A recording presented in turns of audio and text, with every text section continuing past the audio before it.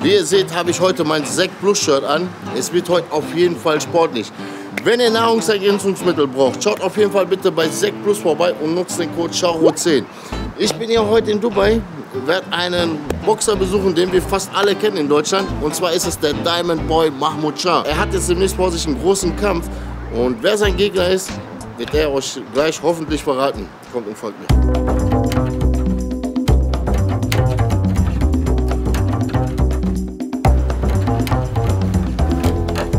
Neunte Etage. Das wird schon, ich glaube, das Gym ist schon brutal, ey. TK MMA Fit. Auf dem Dach wird jetzt gleich gepumpt. Ich freue mich drauf. Das mal ein anderes Feeling.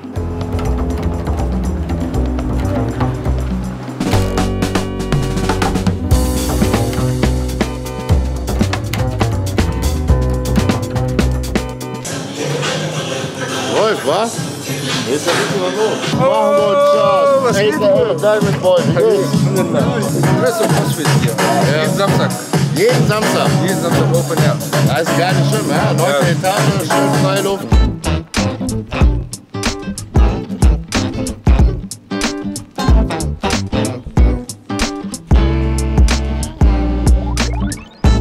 Habibi Mahmoud, vielen, vielen lieben Dank für deine Einladung. Danke. Erzähl uns mal, was machst du hier in Dubai?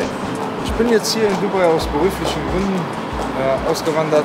Bleib jetzt mal eine Zeit lang hier, trainiere, promote alles das Ganze. Ja, Äh, weil das Boxen in den arabischen Ländern sehr populär ist, Ja. beliebt geworden ist. Und äh, ich bin der erste deutsch-arabische Schwergewichtsweltmeister Ja. langer Zeit und ich versuche jetzt hier mein Glück.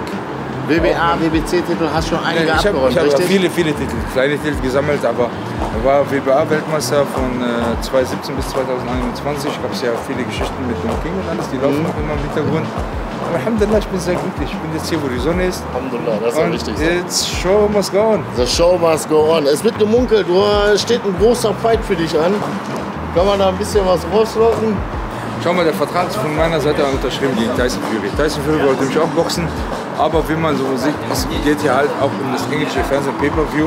Ähm, da kann Tyson Fury oder ich nicht allein entscheiden, da entscheiden die Promoter und die die Fernsehsender. Alles, was äh, Kohle bringt. Äh, ist- das ja, ist- Geld regiert die Welt. Alhamdulillah. Ja, ja. das- ja, ja, leider. Auf jeden Fall äh, drücke ich dir die Daumen, dass dieser Fight zustande kommt. Danke. Damals gegen Klitschko, ehrlich, ich kann mich noch ganz legendär an diesen Kampf erinnern.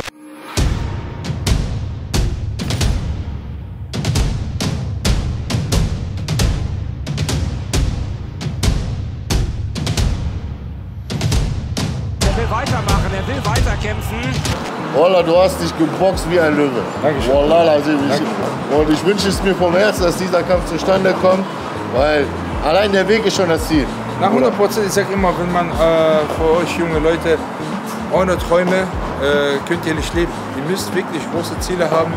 Man hat mir immer gesagt, wenn dein Ziel so groß ist und du davon nur 80 Prozent erreichst oder 70 Prozent, lebst du dein Leben lang wie ein Weltmeister. Und deswegen wünsche ich mir von euch, dass ihr große Ziele habt, große Träume habt und nicht davon Angst habt. Fokussiert euch auf das ganz große Wesentliche, nur auf euch selber. Alles andere ist egal. Ganz starke Worte. Danke dafür. Habibi, ich würde vorschlagen, du zeigst uns heute ein bisschen hier so dein Gym, ja, wo du dich verkehrst und dann würde ich vorschlagen. Also, ey, das ist auch gut. Ich gebe mir einen Post, einfach so, zeigst, äh, zeigst uns ein bisschen dein Gym und dann würde ich vorschlagen, zwei Übungen. Du, ich zeig dir eine Übung, du machst eine Übung, Bruder. ja, und dann Ich erst mal. mit meinem Bizeps drin. Ja, Habibi. Okay, ich zieh das wieder zurück. Nach dem Training, wenn ich manchmal ganz, ganz müde bin und das Wetter wie heute sehr warm ist, springe ich auch mal eine Runde im Pool. Ja, so einen schönen Libanesenkörper auf alte Zeiten, ne? Ja, hör auf mit Libanesen. Wie sieht es nochmal aus so? Black Cousin, Black Cousin. Was viele nicht wissen, Mahmoud und ich, wir kennen uns auch wirklich schon seit lange. Anfang, an, Ende 90er, Anfang 2000. Ja, also Anfang Jahr ja, 2000 denke ich. Ja, in guten Gelsenkirchener Zeiten, ne? Ja, Mann. Da warst du auch mit Kickboxen sehr äh, stark zugange. Ja, ja. Ich habe alles erreicht in, äh, im Kickboxen. Ja, aber da gab es auch wieder so einen Zeitpunkt. Boah, Du erreichst alles Und du weißt ja, das Problem mit der Duldung, wir waren ja alle geduldet damals. Damals hatten wir Flüchtlinge ja nicht so einen Vorteil wie heute. Die Flüchtlinge durften Nordrhein-Westfalen nicht verlassen. Da war Das es ist nicht mal die Straße und nicht mal eine Stadtteil für Luftwaffe. ja, ja, ja. Ich dürfte auch so, das waren ja auch so meine Probleme. Ich konnte international die Kämpfe nicht antreten. Paris nach Holland, immer diese Genehmigung, die haben sich immer verzögert. Ja. Äh, ja, dann habe ich mich fürs Amateurboxen entschieden, ein Jahr. Genau dasselbe Problem. Habe zehn Kämpfe gemacht, zehn Siege und dann wollte ich für die deutsche Meisterschaft machen, dürfte ich nicht. Kein deutschen Pass, keine Papiere. Auch damals in den Amateurboxen gab es diese Probleme. Dann habe ich mich fürs Profiboxen entschieden. Weil das in Deutschland ein legaler äh, Profisport ist. Ja, ja. Ja, und über den Profiboxen habe ich versucht, dann meine Arbeitserlaubnis zu bekommen, was auch nach jahrelang äh, hat sich verzögert, aber am Ende hat äh, sich das gelohnt. Ja. Aber merkt man schon, dass du wirklich äh, doppelt gekämpft hast, doppelt und dreifach gekämpft. Ja, also nicht nur wirklich so im Ring, sondern auch wirklich durch die Bürokratie und äh, durch die Bürokratie von Deutschland, sag ich mal. Aber ich denke immer so jetzt zurück zum sportlichen As- Aspekt. Wenn man äh, ähm, als Flüchtling nach Deutschland kommt und sich integriert und sich wirklich viel Mühe gibt für das Heimatland, um das Land nach außen zu präsentieren mit Erfolge und da noch immer äh, Steine in den Weg kriegt, äh, sollte man da auch ein bisschen äh, sportlich, politisch ein bisschen was ändern. Absolut. Aber es ist wieder ein anderes Thema. Wir sind ja jetzt hier in Dubai, da wo die Sonne scheint. Let's go, baby. Habibi, come to Dubai, Habibi. Das ist, äh, ist ja so mein Spielplatz. Ja, das ist eher dein Spielplatz, also Krafttraining, Bodybuilder. Mashallah, man sieht es an deiner Statur, du arbeitest sehr hart, gefällt mir. Leute mit schwachen Nerven, Leute, die Depressionen haben oder irgendwelche Anscheine haben. Training hilft euch aus jeder Depressionssache raus. Training gibt euch Power. Training zeigt euch ein Ziel für euer Körper, für eure Seele. Und deswegen sage ich immer, Sport ist die beste Medizin für eure mentale Kraft. Das ist mein Boxtrainer hier. Hi, nice to meet you, my friend. Bruder. Alhamdulillah, you're fine. Alhamdulillah. Thank you very much. Ja, Mann. Also das sind meine Brüder, this is also my brother Tom Khan, is the owner. Yes. And uh, Nice this is the gym. Yes. Yeah. The Diamond Boy, number one. Number one. Real. I, I know him, the I- best I watch person in him. the world. I know him now maybe since 10 years, over 10 years from my kickbox time. But he come here and he makes his dream come true. Also er hat alle Träume erreicht, äh, die man erreichen kann in Dubai. Nice Why, meet why you. you come with this muscle? Next time, tell me. Fly away my shit like this. Pose off. Pose off. Pose off. Der Cousin wollte mir jetzt eine Übung zeigen. Ich bin auf jeden Fall schon warm und bereit. Ja. Oh, let's go, baby, let's go, baby. Moment, ich, ich bin mit Flachbank. Der Bruder legt alles flach, Flachbank. Direkt das beste Wort gesagt, Flachbank. Ich muss ja ein bisschen nur denen warm machen und dann äh, können wir loslegen. Manuel ist doch schon Maschallah warm. Das Problem ist, wenn die Freunde immer sagen, ich muss mich warm machen. Auf der Straße macht sich auch nicht mehr, dann muss auch losgehen. Also komm, das hat Sag Yalla, komm, wir fangen an.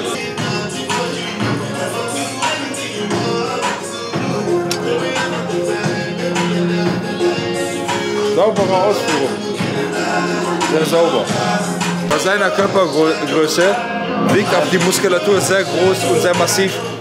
Bei mir würde jetzt das Bodybuilding nicht so. Ich sag mal, ich halte mich nur fit. Du bist ein Brecher, Mann. Ich wiege ja auch 115 Kilo. Aber schau, schau mal die Form, ne? Schaut mal hier. Trainiert, kraftvoll. Aber ich weiß auch die Rezeptur. Sec Plus, Baby. Sec So Plus. sieht's aus. So sieht's aus. Ihr wisst Bescheid bei Sek Plus mit Charo 10 Friends. Bruder, ich hab Boxtraining. Willst du mich verarschen? Komm, einmal Maximalkraft. Komm. Nein, bist du voll? Ich hab immer. Diese Brust muss weg. Wenn ich Maximalkraft beziehe, nur noch Ich größer. weiß, dass das für Boxer richtiger Nachteil ist, Flachbank, weil das ja da auch deine Gürtelschultermuskulatur verkürzt. Und das ist für einen Boxer nicht zu vorteilhaft. Aber komm, Einsatz. Halt zu. Einsatz. Mal, Hör doch zu. Der Typ kommt hier nach Dubai. Wir freuen uns. Er will mich heute kaputt machen. Mal, ich hab Boxtraining gleich wieder. Ja, Ja, was denkst du denn? Einsatz, Einsatz, Einsatz. Aber Einsatz mit den 20er, nicht mehr. Aber und dann mache ich gleich den Rest. Er hat eine richtige Brust, Maschallah. Und dafür, dass er kaum Brust trainiert, ist aber richtig was los, hör mal.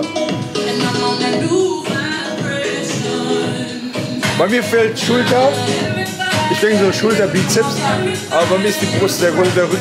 Komm, wenn wir schon mal hier sind in Dubai, dann knallen wir richtig weg. Da haben wir noch eine. Wie viel Kilo haben wir jetzt? Ich denke so 130, 140 Kilo. Stange wiegt äh, 50 Kilo, 60, 60. Ja. 135. Machen wir. Hilf mir, hilf mir, hilf mir, hilf mir. Also Schauspieler kann er auf jeden Fall nicht.